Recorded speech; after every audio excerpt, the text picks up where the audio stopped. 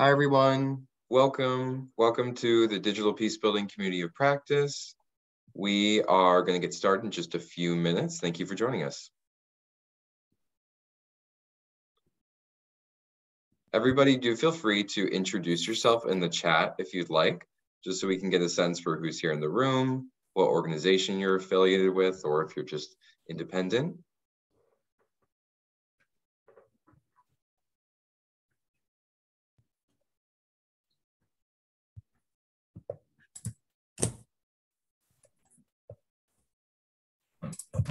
For those of you just joining, welcome. We're going to get started in about a minute.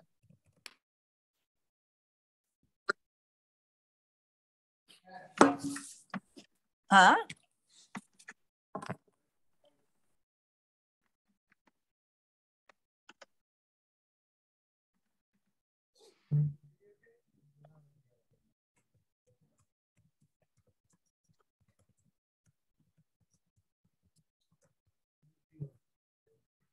Hi, hi Erica, hi Sally.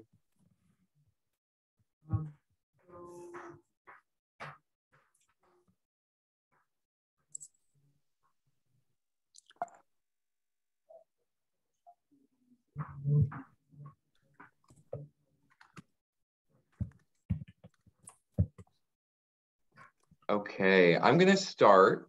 Um, just before we get we kick off the sessions of everybody, if you're not speaking, just please mute your microphone so there's less background noise. Um, and we can begin. So, hi everybody. Uh, my name is Nick Zarowski. I'm a manager for communications, campaigns, and policy at the Alliance for Peace Building. You're at the October session of AFP's Digital Peace Building Community of Practice. Um, the community of practice is co-led by AFP, Mercy Corps, the Toda Peace Institute, and Search for Common Ground. We are an open community of practice that aims to harness digital tools to analyze and respond to online conflict dynamics and amplify peace building outcomes. If anyone here is joining for the first time, please feel free to email me if you'd like to be added to the mailing list for the community of practice. I will drop my email address in the chat shortly. And please do feel free to introduce yourself in the chat, like I said earlier, so we can get a sense of who's tuning in today and from where. I'm very excited today to welcome our guest presenter, Patrick Meier. Patrick is co-founder and co-CEO of WeRobotics, an organization that over the past six plus years has worked with hundreds of local experts and dozens of local organizations in more than 35 countries to collectively expand the space for locally led action and the use of emerging technologies for positive social impact. Together, they continue to shift the power in favor of, favor of local expertise, leadership, and lived experience. Patrick is an expert in enabling local experts to build their capacity and expertise in the use of emerging technologies. Today's session will explore how local experts are using drones, robotics, and AI to tackle aid, development, health, and environmental challenges the ins and outs of the demand-driven localization model that WeRobotics continues to co-create, and why international organizations need to measure their power footprints to drive systems change. Patrick, over to you. Thank you very, very much, Nick. Um, thank you for kindly organizing. Thank you all for spending some of your time today on uh, this webinar. I'm really looking forward to this engagement. I mentioned to Nick that I'm always excited to have the opportunity to share across different disciplines. I'm certainly not an expert on digital peace building, but intrigued, and I deeply believe that there's a lot that we all can learn from each other in these different.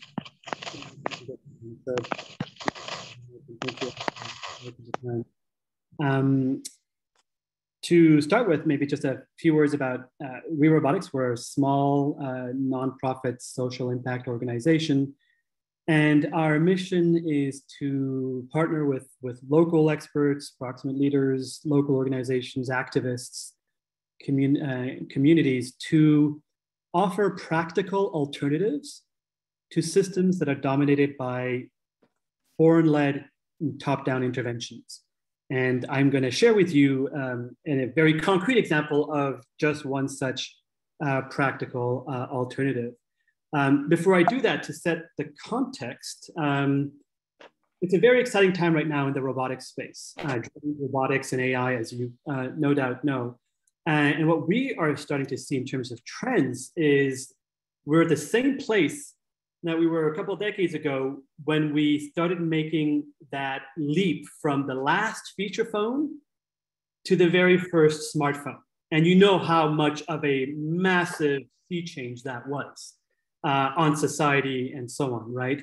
And right now, I can tell you that in the robotic space, in terms of intelligent and autonomous systems, we are just making that leap now. In fact, you can think of a panther or tiger you know, two paws up, two paws still on the ground, and doing that leap. That, that's where we're at. So it really is an exciting time. And as other experts uh, who have been in this for far longer than I have have said, uh, of the drone industry and the robotics industry and, and, and tech, uh, you know, emerging tech in general, um, we are on the very edge of exponential growth um, in, in the drone industry, robotics drone industry. And it has a potential to transform our lives for the better. And that has got to be a goal um, that's worth working towards. I fully agree with that particular sentiment. Uh, these are exciting times. At the same time, and you're hearing a but, um, we really, really, really, really need to unpack a lot of this stuff. Um, because who exactly is on the edge of exponential growth? Uh, whose lives are going to be transformed for the better? Who gets to lead that particular transformation for better lives? Who gets to be called the expert and have access to the exponential technology in the first place. The who is almost always missing from these kinds of uh, conversations. And so while we're at a very exciting space in time for the robotics industry about to make a huge leap forward that will absolutely reshape society, the fact of the matter is we are in the stone age when it comes to social justice and the technology for good space. I mean, and that's already maybe being too kind in terms of, of where we are uh, as, far as, as far as social justice. Um, which is why you get pictures like this. Now, this was seven years ago in the South Pacific after a massive cyclone, right? But you still see these kinds of pictures uh, today where you have the foreigner that parachutes in with the latest emerging technology, in this case, drones, and the local community is at best a passive observer, right? And in this case, you have even uh, you know a local community member holding the umbrella so that the foreign white drone pilot doesn't get wet while flying his drone, right? Um, this is unfortunately the, the, the reality of a lot of the technology for uh, good space. And we want to absolutely change that completely and turn it upside down um, uh, as much as possible. And the way we do that is with something called the Flying Labs Network. And that is the, an example of that very practical alternative that we've been busy co-creating and co-building with several dozen local organizations uh, around the world. Flying Labs are simply independent and locally led knowledge hubs that combine local leadership and local expertise with emerging technologies in order to drive positive social change. And these flying labs are all connected with each other. There are now 38 labs across the world. They share best practices and lessons learned. Um, they train together, they train each other, they team up on joint projects um, uh, as well. And they're also directly connected with within their own ecosystems in their countries and in their uh, regions uh, as well. And just to give you an idea that there are some faces behind these dots on the map, these are some of the team members across the Flying Labs network, a very diverse group of individuals with just, I mean, every single discipline seems to be represented across the Flying Labs network. A lot of different domain expertise and experience, just a wealth a wealth of, of knowledge that they all bring together uh, to each other, to, to the network. Um, and you know the way that we have co-created the Flying Labs network is by co-creating a, you could call it a localization model, you could call it a decentralization model, a the power model, you know, you know, choose your, your, your favorite term. Um, but we've had to build by doing. And I would um, love for you to have a, a skim um, of this particular report that was co-authored with many flying labs earlier this year that goes into the details, the nuts and bolts of how this um, this localization, decentralization model actually works in practice. It is packed full of evidence and details uh, and, and so on. for the purposes of now, I'm just going to tease out some of the key kind of features of this model that we refer to as the inclusive networks model. Uh, first of all, this model doesn't ask, demand, require that uh, local organizations uh, create a new entity in order to be a Flying Labs. Flying Labs are hosted by existing locally owned, locally managed entities that already have a track record in this specific area of technology and uh, social good. They are completely independently led and managed. There is no WeRobotics staff that is part of a Flying Labs. This never happened, will never happen. Um, they are financially independent. When these organizations join the Flying Labs network, they already have clients, they already have uh, business opportunities, they have a track record, they have partners, and, and so on. Flying Labs are also entirely demand driven. Um, we, as WeRobotics, don't tell Flying Labs what projects to work on, who to partner with, how to set up their own team, how to manage their time, yada, yada, yada. This is entirely independently led and independently uh, managed um, it, based on the priorities and interests of the Flying Labs themselves. And the idea of the Flying Labs brand and identity is to help amplify the expertise and visibility um, of the organization. The idea is not to take the Flying Labs network and the brand and erase the local organizations that are actually hosting it. It's very much a beautiful symbiotic relationship. The success of Flying Labs is entirely dependent on the success of the hosting organizations, and the success of the hosting organization is also then uh, dependent on, on the success of the Flying Labs. Um, we celebrate that individuality and the fact that uh, these labs are hosted by, by local organizations. Uh, we also celebrate local ways of being, local knowledge, local leadership, and so on. These are not just check boxes. They are celebrated actively across the Flying Labs network. We also don't tell anyone to join the Flying Labs network. Uh, organizations will join if they see that there's value to them and they can leave at any time. There's no gatekeeping here, right? Um, and something I recently learned from a colleague of mine who's been working in the INGO UN space for decades. He said, you know, when we close up shop, when we close down a country office, it ain't ever coming back. That's it. We close up shop, it's done, the organization moves. What's interesting about the Flying Labs model is even when a hosting organization decides, you know what, we've gotten as much value as we wanted from being part of the Flying Lab network, we are now off to do uh, bigger and better things. That doesn't mean that that particular country will never have a Flying Labs again. In fact, then that Flying Labs becomes available to other local organizations to host and run as well. And we actually have examples of that happening uh, multiple times uh, as well. So there's that continuity. In terms of our role as an enabler of the Flying Labs network, we're involved in helping to facilitate knowledge exchange between uh, all these flying labs and between industry and the flying labs. We also are involved in accelerating the transfer of emerging technologies from industry to the flying labs, but always in function of the priorities and needs and interests of the flying labs, right? It's always them being in the driver's seat. We are simply an enabler.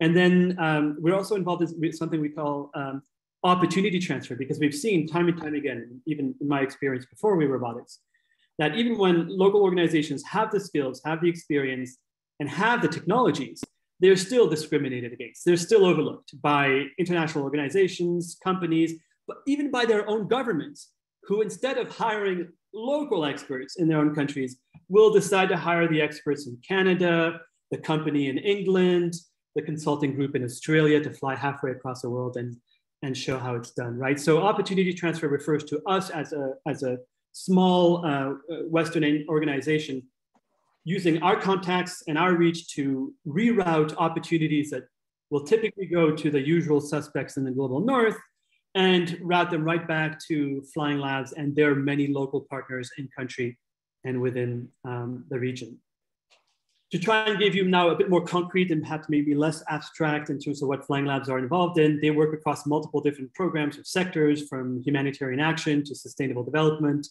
youth and STEM education, public health, uh, environmental issues from nature conservation to wildlife protection to climate change. uh, climate crisis mitigation, as well as business entrepreneurship, uh, incubating locally owned, locally managed uh, startups in, in their own countries. And to give you even more of a concrete example of what this all looks like, um, for example, in disaster recovery, you remember my colleague from Australia here on, on the left. Um, uh, a, a, few years after that, uh, when uh, Fiji Flying Labs joined the network, the head of Fiji Flying Labs was asked by the Fijian Red Cross to deploy with them after a tropical cyclone in order to assess the damage to some outer inhabited islands. And the head of Fiji Flying Labs had two hours to get their drone packed, their gear packed to be self-sufficient for at least a week um, and, and work with the Red Cross to carry out these assessments. Uh, in contrast, my colleague, my Australian colleague on the left, needed three weeks in order to get to the South Pacific and start uh, operating the drones. So that's a big difference. Not only that, but the head, uh, form, former head of, of, um, of, Fiji Flying Labs is Amrita, uh, right here, um, who not only was the first woman in her country to be a, a certified professional drone pilot, but then was also the first woman in her country to be involved in and, and requested and sought out to apply her technical uh, and professional expertise to support humanitarian efforts in her first in her own country, right?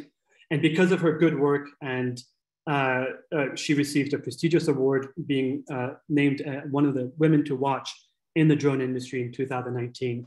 And very luckily uh, um, for us, um, Amrita has since joined WeRobotics full time to lead the STEM program entirely across the Flying Labs network. So that is, if you want in a picture, what we're all about, going from the picture on the left to the picture on the right. Now, in terms of disaster response, Nepal Flying Labs was actually the first to join the network in 2015, and they did so uh, in the aftermath of the major earthquake that happened there in, in 2015. They were uh, uh, yet to be a Flying Labs, but uh, Nepali colleagues were keen to know how to best use uh, drone technology to accelerate the recovery efforts.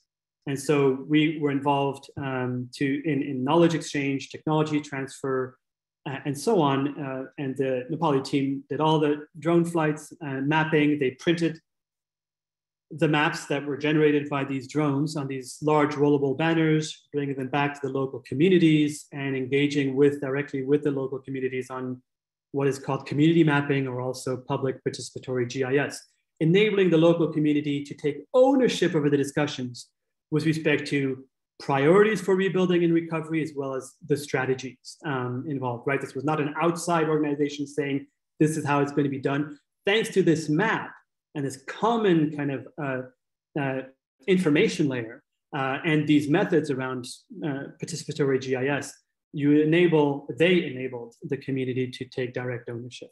And then just a few years after that, Nepal Flying Labs was contracted by the United Nations to be the ones training their country teams in, in Nepal on how to use drones for disaster management in professional, responsible, effective ways, right? They are now the recognized experts in their own country and being sought after. And again, so this is another picture to show you this is what we're all about. Starting with the flying labs in the aftermath of a major disaster to basically then having the flying labs be the go-to uh, team uh, and organization uh, for this kind of work and, and a lot more. Uh, other side of the planet, planet uh, Panama Flying Labs has been involved in work focused on the, the, the climate emergency, uh, climate risk mitigation. They've been looking at the impact of sea level rise on islands, Panamanian islands and what you can do with this kind of imagery is do some pretty sophisticated you know, modeling and to understand just what gets flooded when, depending on the level of sea level rise and so on. In addition, Panama Flying Labs has been involved in mangrove restoration. Uh, mangroves are extremely important to uh, trying to respond to the climate emergency. They absorb four times more carbon dioxide than any other living plant on the planet. They're also, as you can see from the video on the lower left, extremely important for mitigating floods, uh, storms, um, soil erosion, and, and so on. So we've worked with Panama Flying Labs because one of the challenges um, with mangrove restoration is, is actually planting new mangroves in areas that are very difficult or nearly impossible to access physically. So we experimented with them by using drones. So the drone you see in the top left is actually carrying many, many, many uh, mangrove seeds and using the drone to then basically plant mangroves and trying to mimic what Mother Nature does when a seed falls off the top of a mangrove tree and goes into the soil, the very soft, wet soil. Um, and this project then we turned into opportunity for youth and STEM education. We turned this project into a picture book uh, for children. We worked with um, uh, very talented uh, illustrators and, and editors from the region and the country to bring this particular story to life. Um, because what we had seen um, is that you know more and more flying labs are engaged in, in, in STEM and youth education, um, and they wanted to have picture books that they can use as part of their of their as their their work with youth. But we looked at all these picture books that exist, the few that exist on drones and so on, and as you can guess, they're written by Western authors, illustrated by Western illustrators, and of course, the you know protagonists of the stories are white boys and girls, uh, predominantly white boys, right? And that was going to be a complete deal breaker and no go for us because we wanted uh, these kids to be able to see themselves in these books, to recognize that hey, this this is this can be me, right? And so uh, this was tremendously successful, more than we expected. Not only could these um, youth see themselves in the book, this is uh, in a very rural school in, in Panama, um, but the team from Panama Flying Labs were the main characters in the books as well, because they were the main characters leading the projects in real life.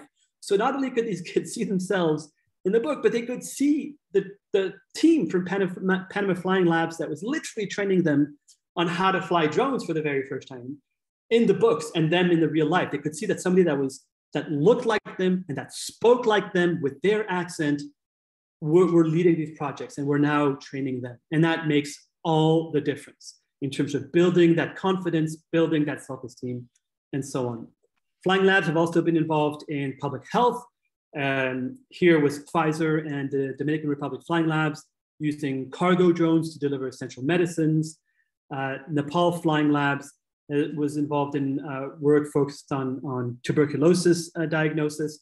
They worked with two regional hospitals and eight remote, very remote clinics using these autonomous cargo drones to pick up patient samples from these eight remote clinics and flying them back. I mean, it's automatic flight, it's autonomous flight, back to the two regional hospitals. And so these hospitals, for the first time ever, went from testing lab samples, patient samples that had been collected weeks ago because of the challenges of bringing these samples from remote mountains back to the regional hospitals, to basically testing uh, patient samples that had literally just arrived a few minutes ago and had been basically uh, taken just an hour or two earlier that same day. I mean, it was a sea change for them. It was just something they never uh, expected would ever happen in their in their lifetime. So it really makes a difference, right? Especially if you're a patient, so you're no longer waiting weeks to find out whether you even have TB, but you can find out now within a day uh, and get the treatment that you need.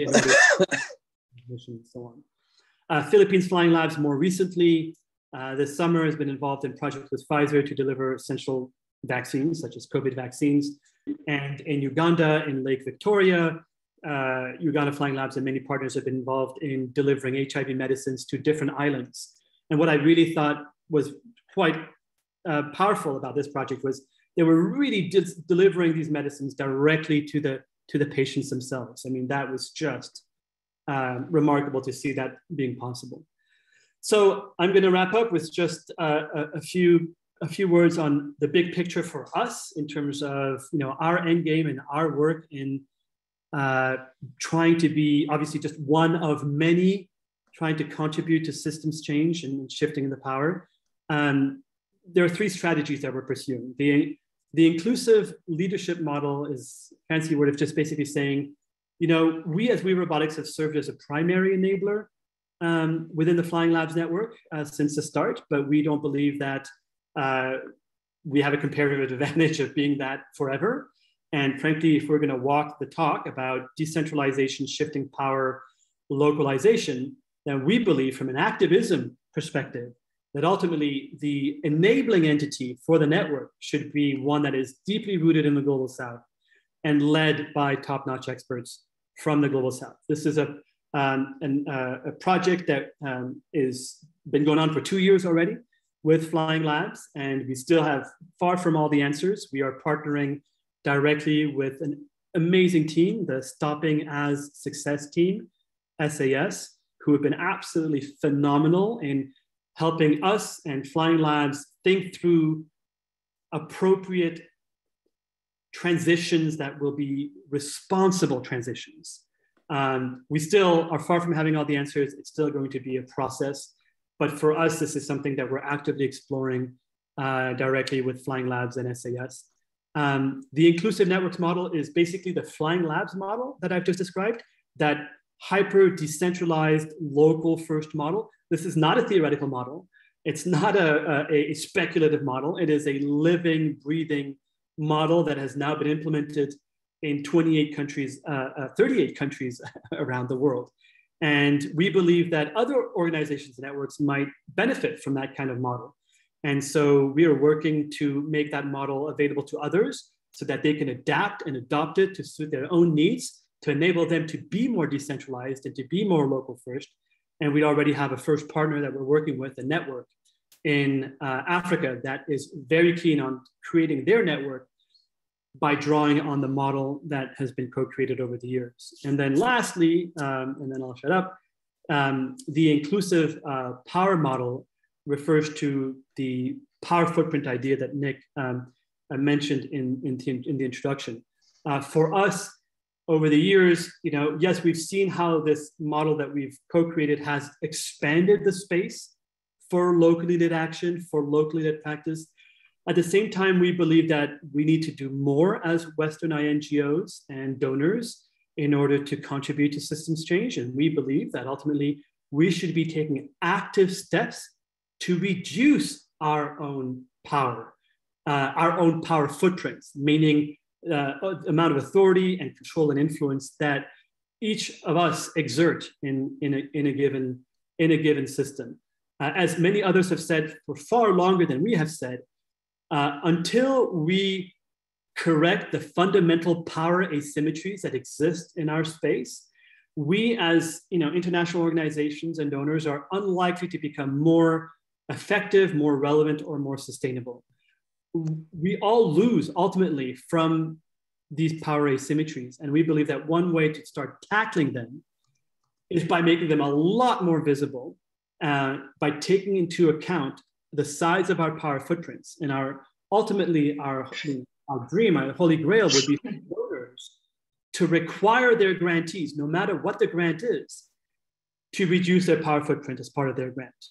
Because I don't believe it's acceptable today in 2022 to say that a particular grant has been successful if in the process of implementing that grant, that INGO has, has consolidated and expanded its power footprint that is not success. That's that's BS, frankly. So anyway, this is all to say that we're doing all this. Um, we're one of many in the effort to try and get us out of the bloody stone age of social justice that we are in and trying to make progress in this space.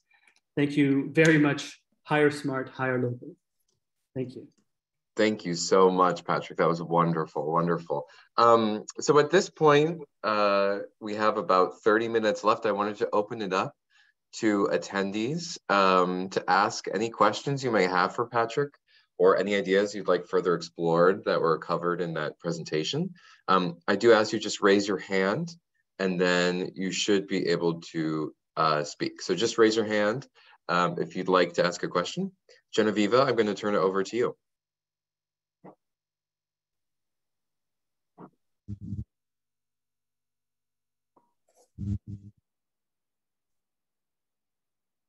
Genevieve, I'm not, we're not hearing you. So you may have to put your question in the chat. Hassan, how about you? Hi, good morning. Uh, uh, thank you for the very informative and beautiful uh, presentation, uh, Patrick. Uh, my question is, have you ever tried this kind of work in conflict areas uh, to provide this humanitarian assistance.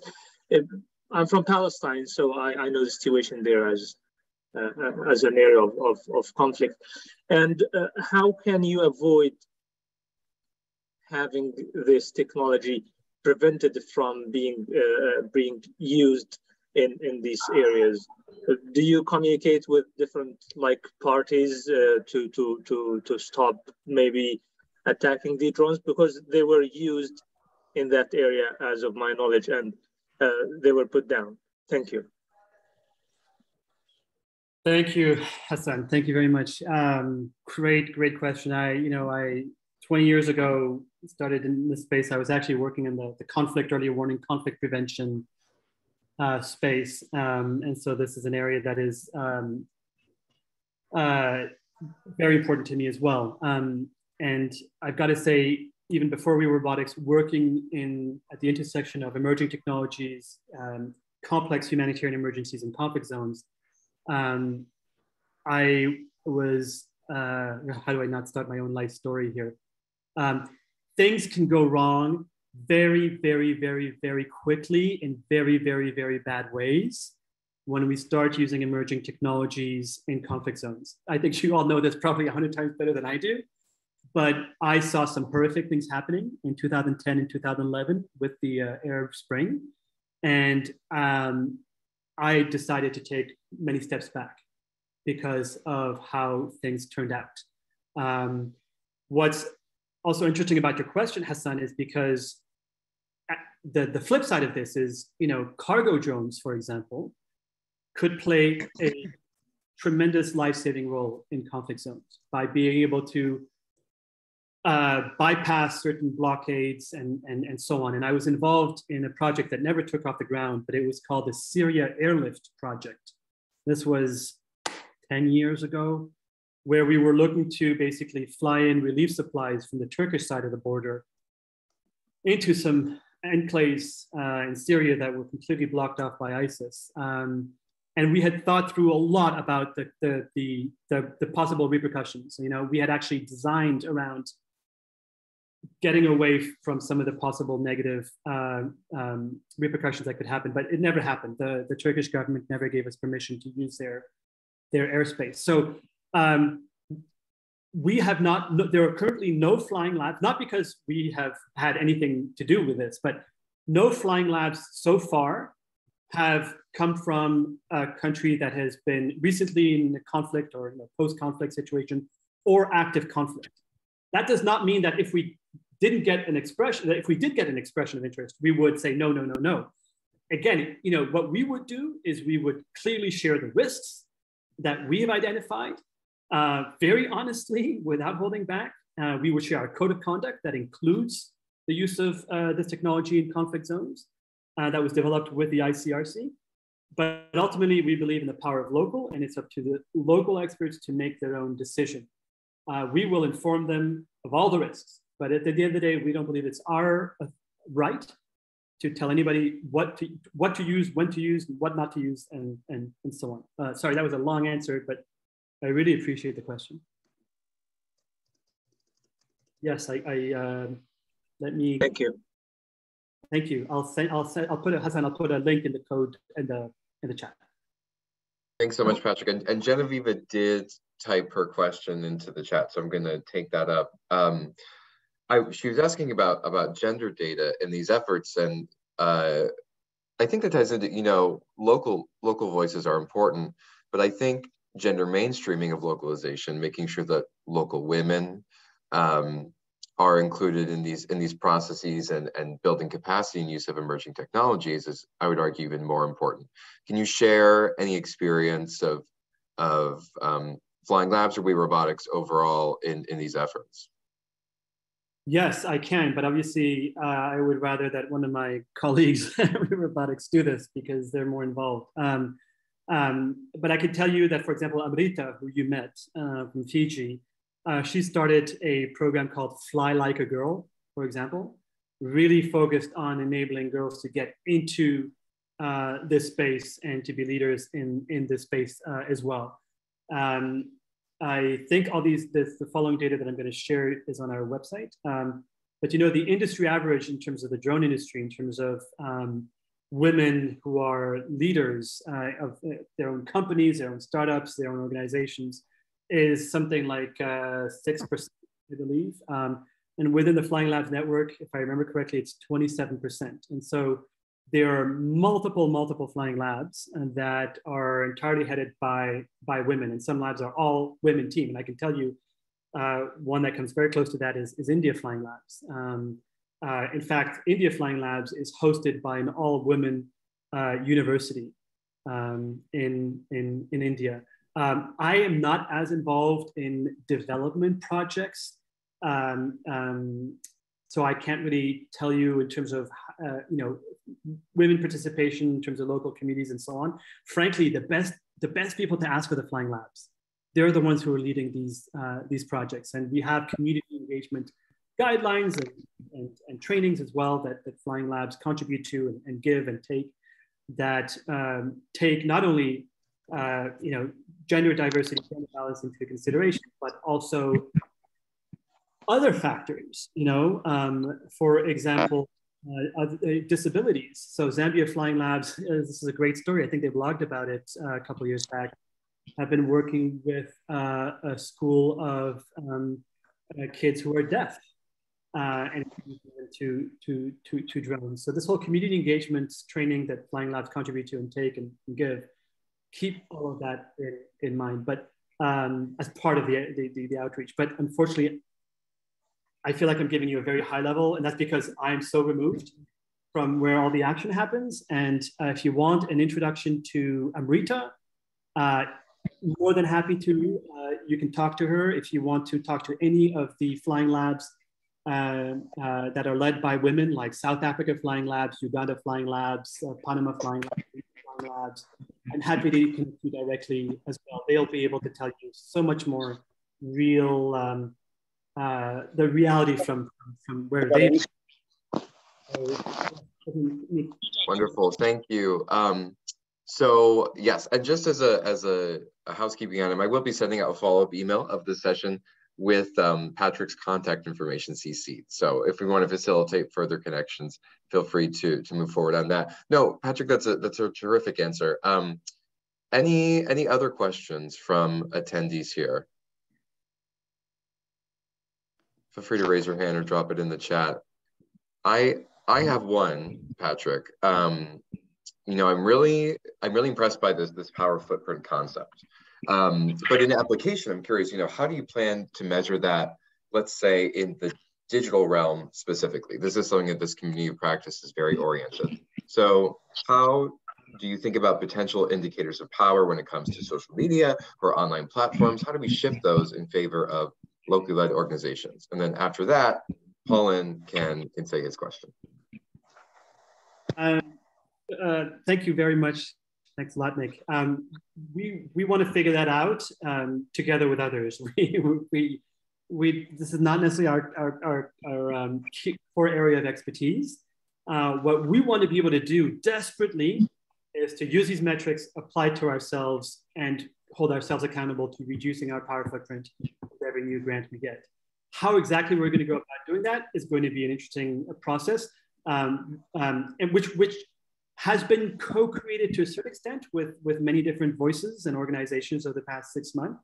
The idea is that there will be three different coalitions. Um, uh, and during these, coalitions, we will go through a, um, a co-creation process of co-creating these metrics together. There will be an INGO uh, coalition, a donor coalition, and a, do, and a, and a, and a, and a, and a coalition led by global South organizations, right? Um, you go to powerpoint.org, there's a link to information as well, and you can see what the idea kind of uh, looks like in, in, in, the process. But um, you know, we deliberately did not move forward ourselves at WeRobotics, even though we've been developing, thinking about this idea for a year and a half. Uh, we could have easily just said, you know what, this is the these are the metrics we think we, it needs to be, the, and, and then we'll apply to ourselves, and we'll just go off and do this on our own we, we felt it was much more important to, to take a, a, a collective community movement approach to all this um, in, in order to, to come up with something that's really, really solid.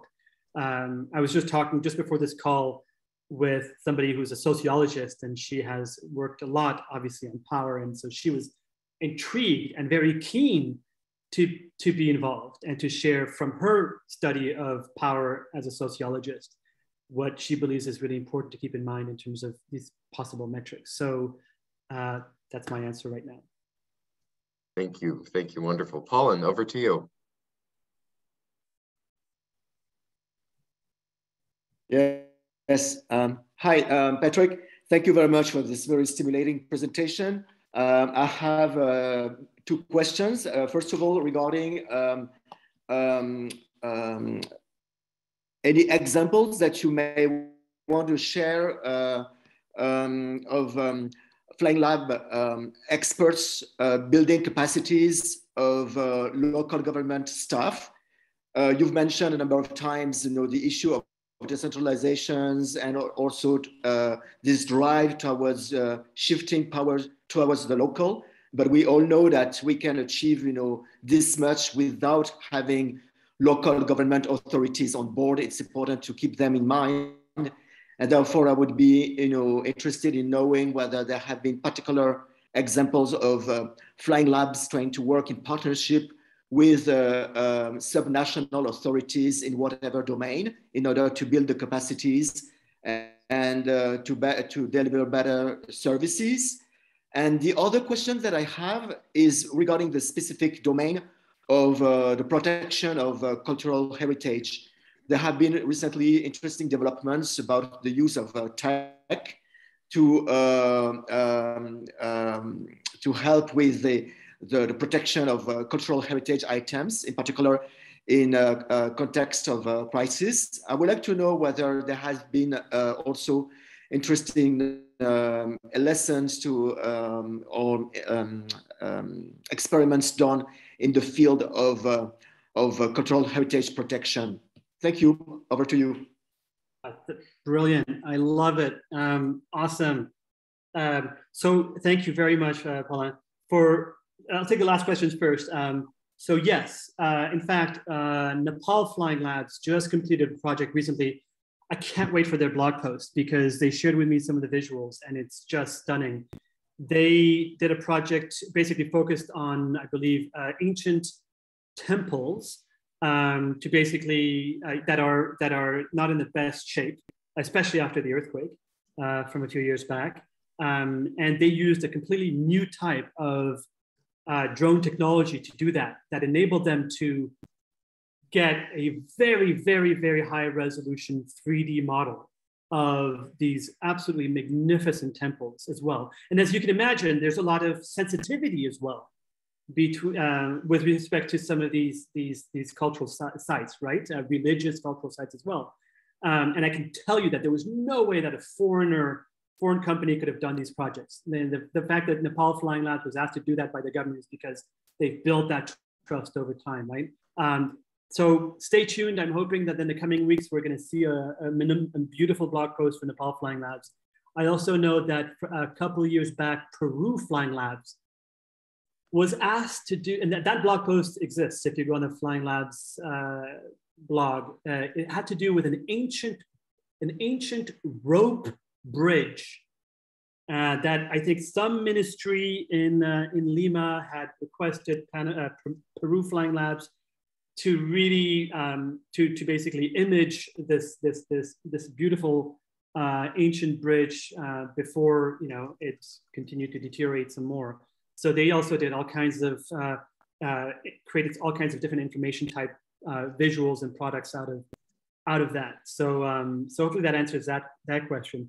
And then, yes, your really good question about really Flying Labs serving as an enabler for local government, municipalities, and so on. I, am really glad you asked that for a number of questions because one of them is, you know, just like WeRobotics serves as an enabler for the Flying Labs network, the idea and the spirit of Flying Labs is for Flying Labs themselves to serve as an enabler within their own ecosystem, within their countries, to enable their partners, government, universities, you know, local companies, to gain those skills, to gain the expertise so that they can also participate in the use of these technologies. And um, uh, while I'm also not involved in this particular space with Flying Labs and WeRobotics, I can tell you, and there's uh, one or more blog posts, and there will be more blog posts on this, but um, uh, we've already ran a program called Turning Data into Action program for an entire year with multiple Flying Labs. It was so successful, and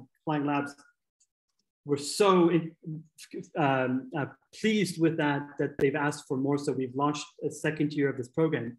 And the entire purpose of this program is for Flying Labs to work with local government, local municipalities, uh, national government, and enable them to understand how to take the data that's basically collected um, using this kind of robotic solutions and then processed and so on and analyzed. How do you take that?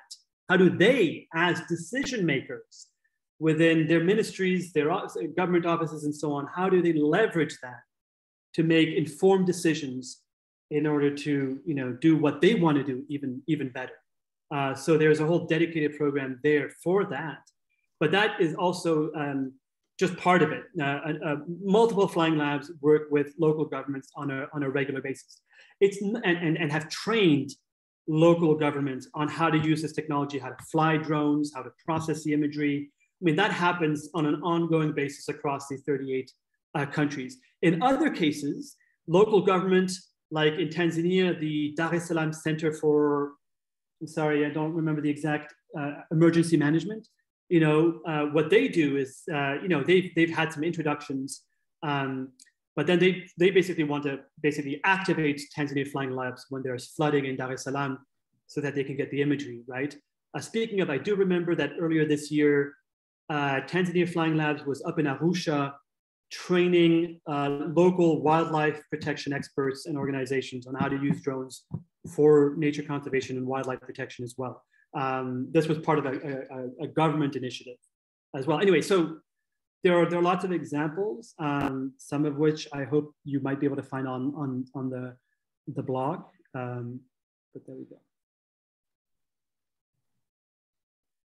Thank you so much, Patrick. I not to turn this into a, a, a, business development grilling from me, but I, I wanted to ask, you know, you have a presence in more than 35 countries at this point. What are you currently trying to expand geographically and not just geographically, but in terms of the mandate of, of your organization? You know, what are your priorities in terms of scaling? How do you think all of these efforts can be scaled in a in a way that avoids duplication? Uh well, so you know, when we set out, when we founded WeRobotics, you know, we we as as co-founders, we told we we said to ourselves like, our purpose is not to grow WeRobotics.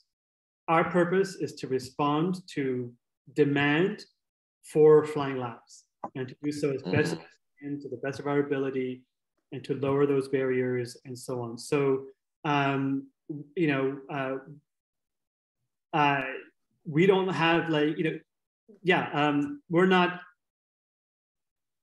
we don't, we're not, we don't have an, an agenda in terms of, of, of deciding, oh, we're going to focus on adding 10 new flying labs in Latin America. That's, that's not how we work at all. It's, it depends on the demand and then we respond to the demand uh, and so on. So, um, you know, right now, uh, where we're at in terms of the stage of, you know, our organization and WeRobotics, we're increasingly looking at um, those three strategies, right? Of the power footprint, the inclusive networks model, and this idea um, that we are continuing to work closely with SAS and, and, and think I saw Ruth earlier uh, and team is to think through what is the most responsible way of transitioning um, uh, the Flying Labs network so that it's um, being enabled by, by a non-Western entity um, and we don't have all the answers. And so we welcome as much input and ideas as, as you all have. It's, it's, it's, it's not something that can be rushed.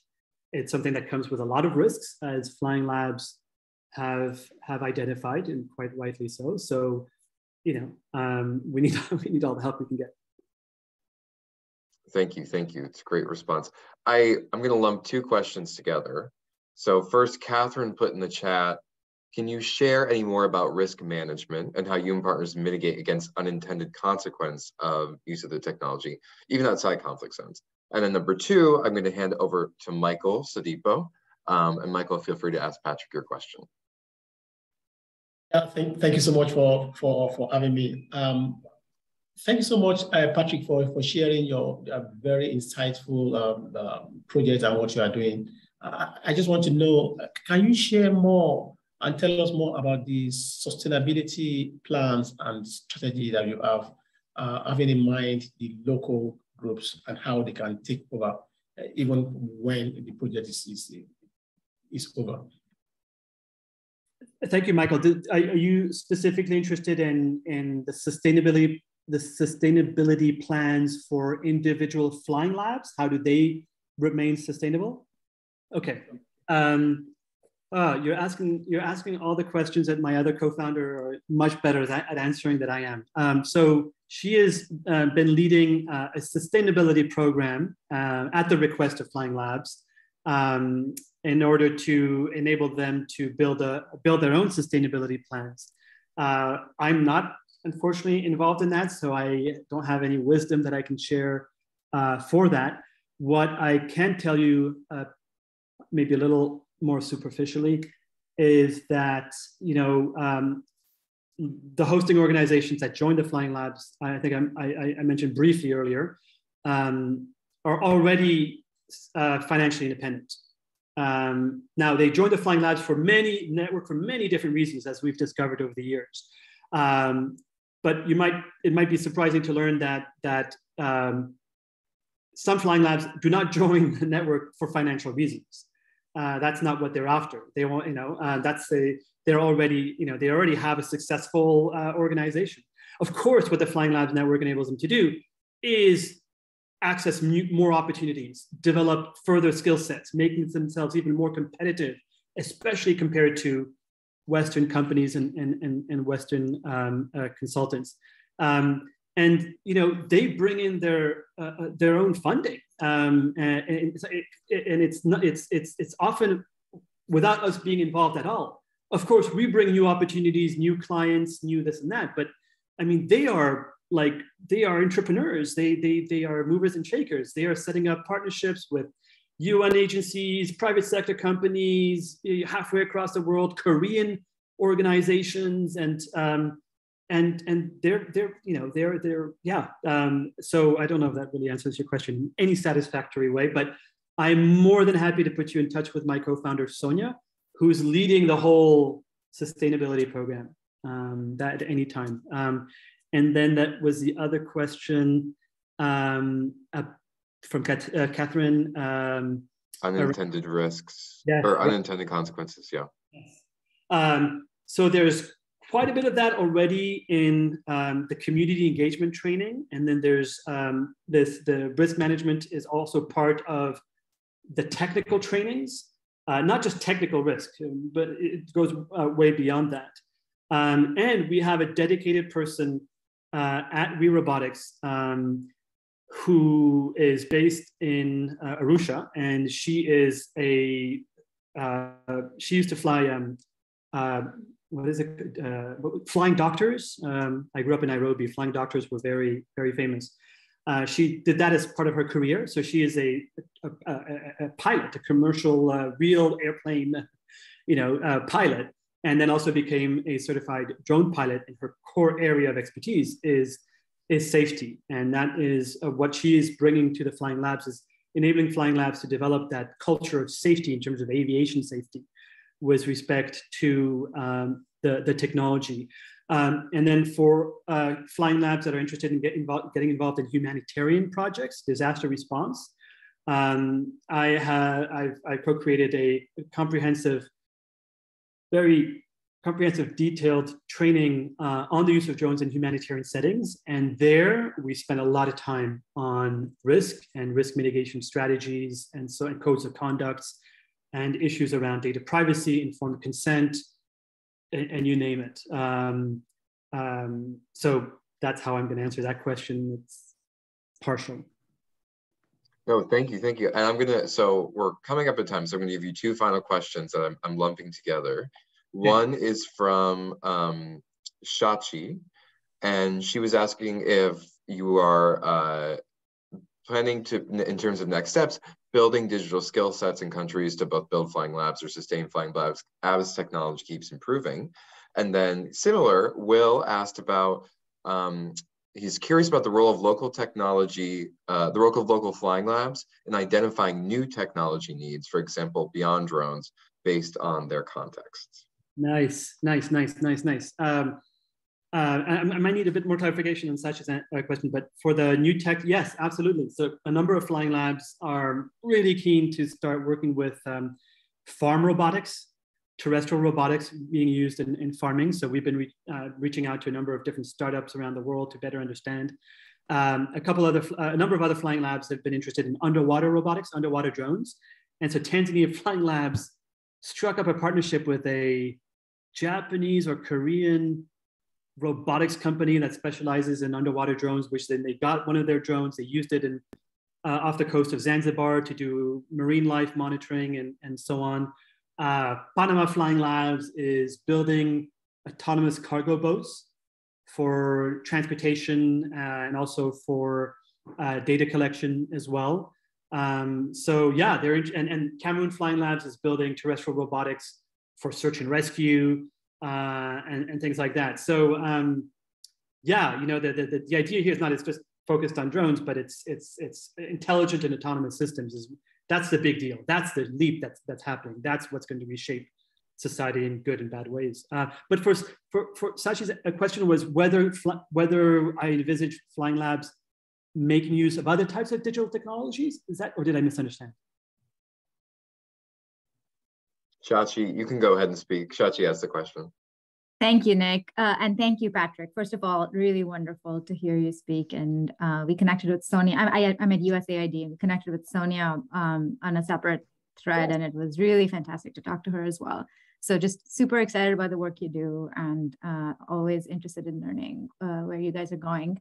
But I guess my, the motivation for my question is, you know, I'm just wondering if you're forming partnerships with other um, actors in the ecosystem. And so in this particular instance, I'm thinking about like universities or other sort of technical training, vocational training institutions, things like that, so that the rights, like you're over, so, you know, one, you have a pipeline of talent that continues to feed into those flying labs, for example, and vice versa. Whatever flying labs folks are learning can influence the training opportunities that exist jobs opportunities that exist in the countries where you work. So I'm just curious about that sort of broader ecosystem engagement around capacity building, because it seems like you have some really talented people already running these, and there's an opportunity to sort of strengthen the just overall technology talent in, in countries through programs like this. Right, right, great. Thank you very much, uh, Shachi. Very, uh, I will try and answer. Um, so uh, a number of flying labs are already hosted at universities. So they definitely have a lot of um, uh, uh, keen and, and, very talented students that, that participate. And this includes Morocco Flying Labs, India Flying Labs, uh, previously Panama Flying Labs, and, and others. But those, are, those other flying labs that are not hosted by universities, many, I would go so far as saying the vast majority of them have formal partnerships with one or more universities in their countries. I know that's a fact in in Peru, for example, I've done a lot of work with Peru Flying Labs, so I happen to know a bit more about um, about that. Uh, the same thing in Dominican Republic Flying Labs. Um, so the, those partnerships get made by the flying labs themselves, based on what they believe is a priority of interest, of uh, strategically important, and, and, and, so on. So um, we don't we don't make those partnerships for the flying labs. They they make it themselves. Uh, but it, yes, more often than not, every flying labs, uh, Chile flying labs, I'm just thinking about now, uh, have direct connections with universities, different departments, students, uh, and so on. Does that, I don't know, if, if I didn't answer, we are, I know we're connected on the email already, uh, Shachi, so if you wanted to follow up, I'm happy to. Shachi said, got it, thank you. Well, listen, everybody, we're at time, so we're going to wrap up. But Patrick, thank you so much. This was this was a wonderful session. Um, like I said, there will be a number of follow up items I'll send out. We are recording this, so I'm going to send the recording link to anybody who would like to revisit um, or share. Second, I will send a few of the linked uh, resources that were discussed in the chat and the presentation. Um, and third, I'm just going to CC Patrick in the follow up notes so people can, can resume. Um, and further connect with him if they have additional questions. So uh, just as a final reminder, if you are not on the, uh, the mailing list for the community of practice, just send me a note and I can add you. And with that, I hope you all have a wonderful rest of your week and look forward to seeing you all again next month. Bye. Thank you all so much. Thank you, Nick. Thank you, Patrick.